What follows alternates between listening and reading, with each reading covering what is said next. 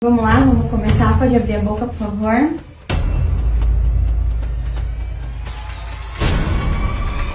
É, só um momentinho, tá? Eu já volto.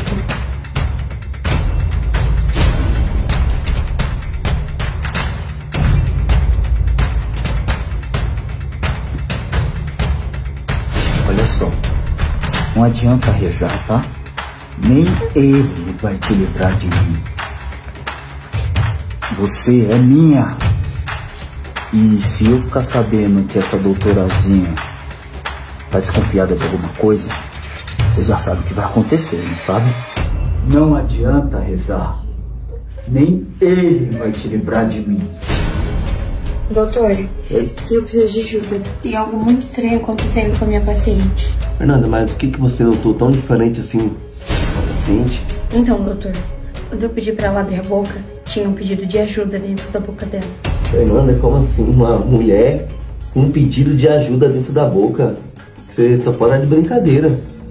Por que ela estaria assim? É, doutor, ela já tava super assustada, ela tremia bastante. Ela parecia estar com medo de alguma coisa, eu achei muito estranho, por isso eu vim falar com você. Preciso muito de ajuda, não sei como ajudar ela. É, Fernanda, é, realmente pode acontecer dela estar precisando de alguma ajuda. Porque nos dias de hoje, esses homens aí tudo retardado querendo bater nas mulheres, deve estar passando alguma situação ela tá querendo te passar alguma mensagem. Pois é, doutor, eu estou realmente muito preocupada. Mas faz o seguinte, eu vou voltar pra lá antes que ele perceba que tem alguma coisa errada. Enquanto isso, o senhor vai vendo como pode me ajudar, tá bom? Faz isso, Fernanda. Tenta enrolar o máximo que você puder, que eu vou tentar entrar em contato com a autoridade para ver se eles dão um pulo aqui e ver o que, que tá acontecendo. Tá bom? Obrigado, viu?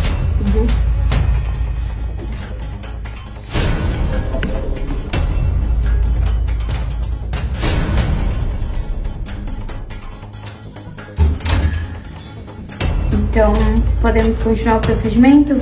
Vamos? Então, doutora, vai demorar muito? Nós estamos com pressa. Olha, senhor, eu não costumo trabalhar correndo, né? Até porque pode acabar passando alguma coisa.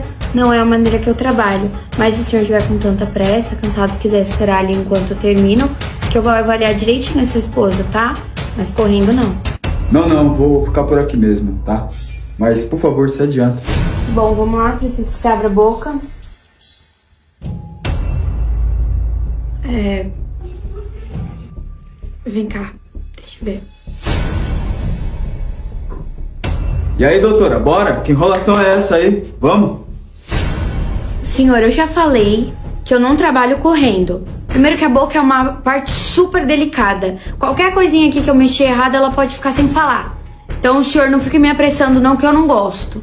Tá de enrolação comigo? Eu tenho cara de palhaço?